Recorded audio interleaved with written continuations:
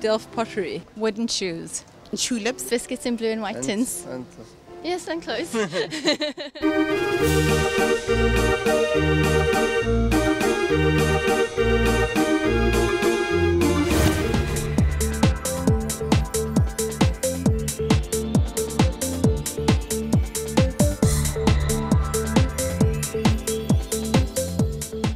I'd noticed them and looked at them and thought they were they were quite cool. I'd buy that for my mom. Those are beautiful. sure, I hadn't even noticed they were bags. Wow. No, don't show the bags. No, those are cool. Did you know that this was from origin a Dutch uh, a Dutch bunny? no. And I particularly like the little Miffy tiles over here. I didn't realize that Miffy was so big in Holland.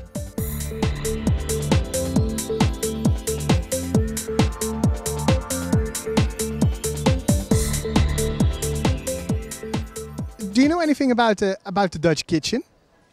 Not much.